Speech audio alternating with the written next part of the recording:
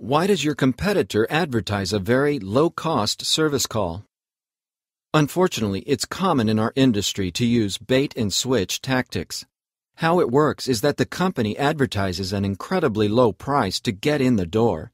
When they actually arrive at your home, though, the bill is typically much higher than what was advertised. With Bosco, you can be sure you'll get our advertised price.